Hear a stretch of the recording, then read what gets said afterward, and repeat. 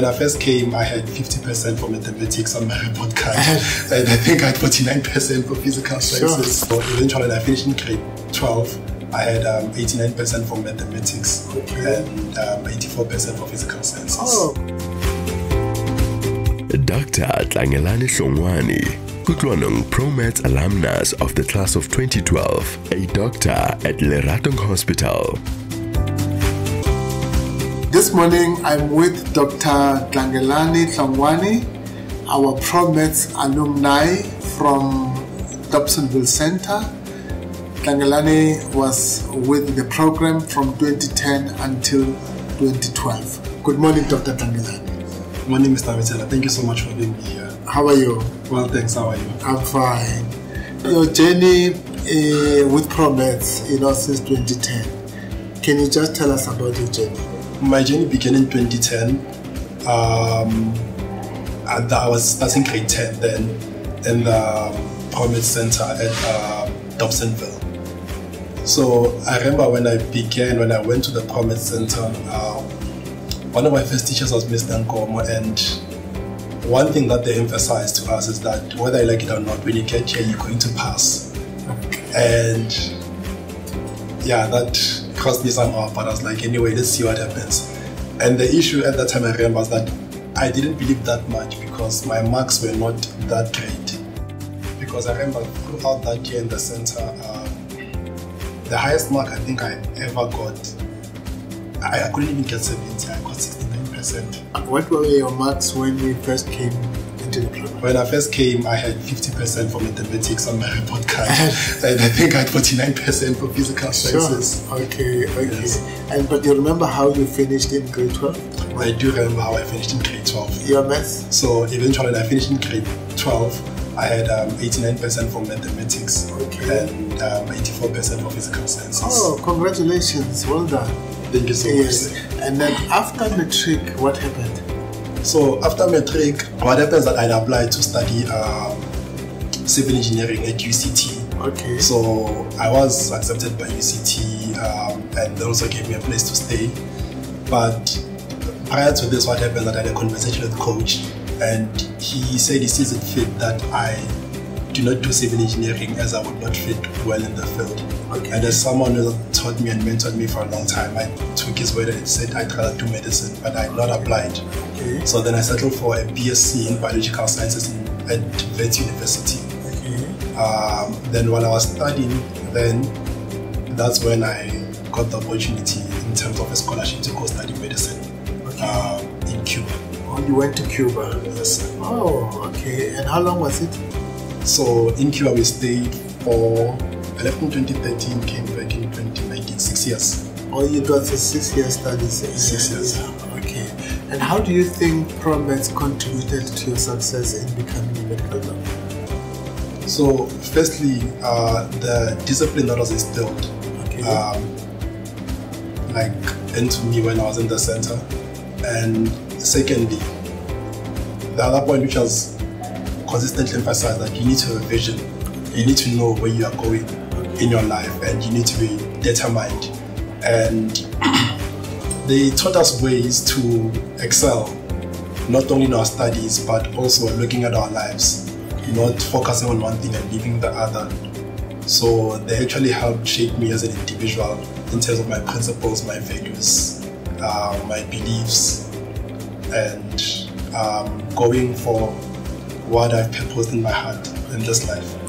And you are part of the cohort that was going to the center Fridays, Saturdays, and Sundays, public holidays and school holidays. Can you say, tell us about that?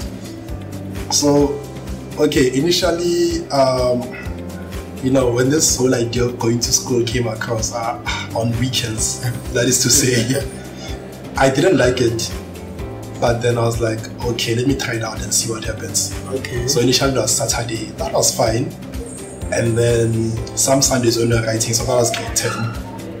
And that was not too much of a challenge. But then I realized something. By the end of grade 10, I started enjoying this program. Okay. So when grade 11 came, I didn't have an issue. I knew that my weekends were now fully dedicated okay. to school. So I made the necessary sacrifices. Okay. So grade 11, it became uh, Friday and Saturday. And then some Sundays, but when it came to matric, Friday, Saturday, uh, Sunday, and then we also had public holidays, school holidays. So essentially, I never had a holiday until I finished with my school in December. Okay, okay.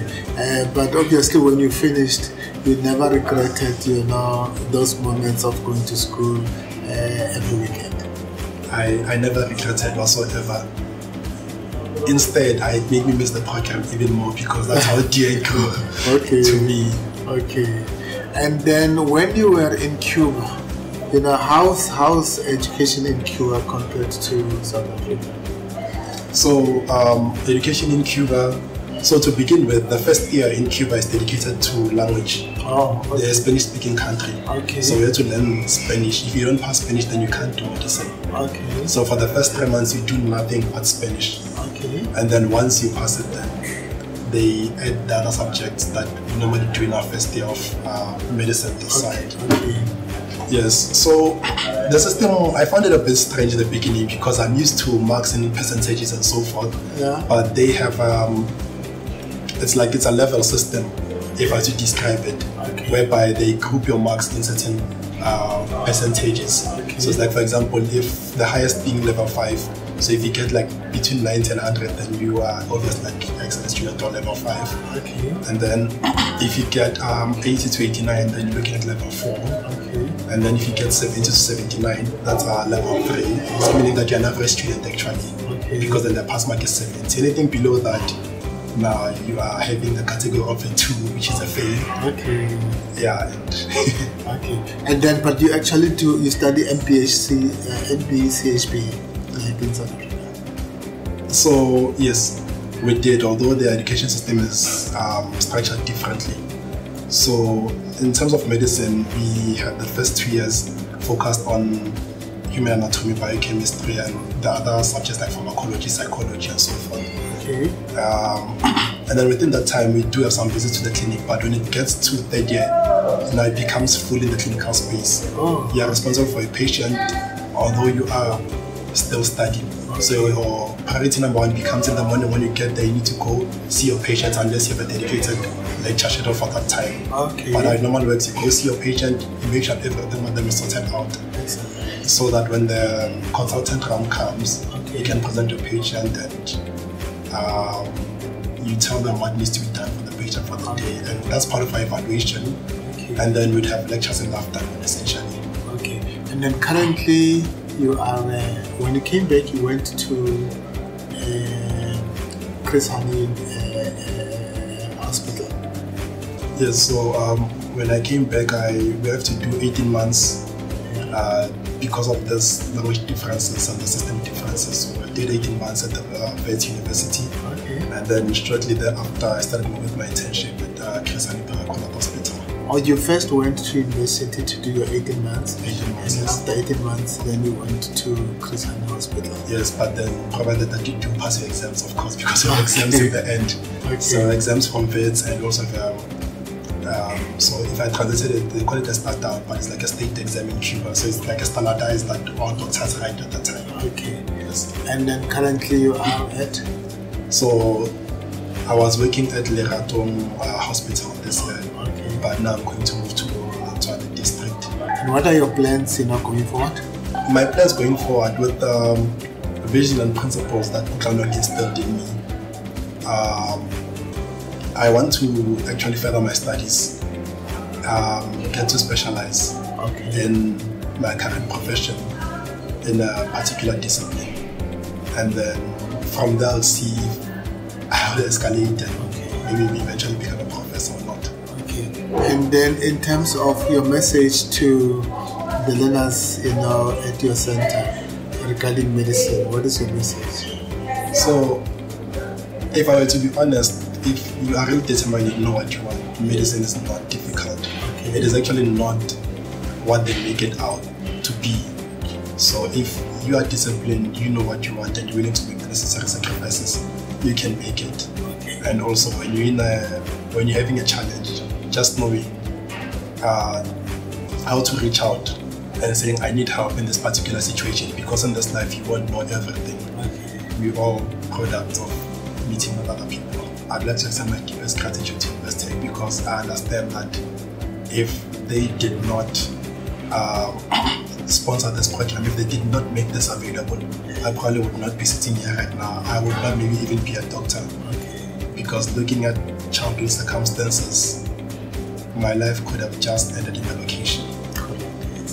Dr. Kamani, thank you very much for your time and I wish you all the best, you know, with your endeavors in becoming an academic doctor. Thank you. Thank you so much, Mr. Mabitsela. So much.